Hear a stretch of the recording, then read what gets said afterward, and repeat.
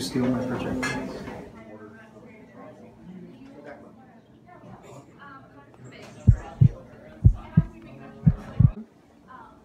No.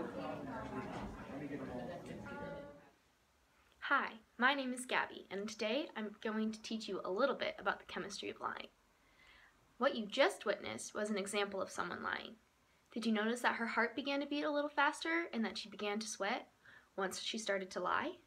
These symptoms are all a result of chemistry taking place inside the body. When you lie, your body begins to feel stressed. This stress triggers the release of epinephrine and norepinephrine. These two hormones are catecholamines and are responsible for the symptoms your body feels when you're stressed, like increased heart rate. These two hormones are made in the adrenal medulla.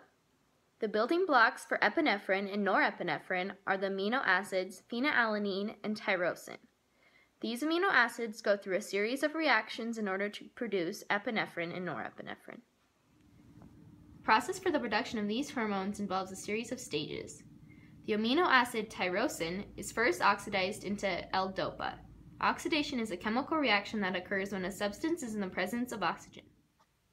L-DOPA is then decarboxylated into dopamine. Decarboxylation is a chemical reaction that removes a carboxyl group and results in the release of carbon dioxide. From there, dopamine is oxidized into norepinephrine, which is then stored in the synaptic vesicles.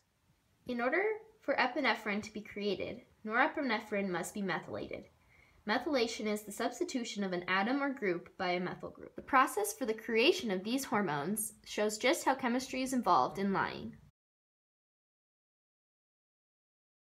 The polygraph is a test that measures the reactions that come from the sympathetic nervous system, like blood pressure and pulse. This system works based on the belief that when you lie, your body undergoes stress and anxiety. However, this system can be outsmarted and a person can learn to mask any indications that would show they were lying. This is the reason why, in a court of law, polygraphs are not considered hard evidence. The polygraph essentially measures the reactions that come from the release of norepinephrine and epinephrine into the bloodstream.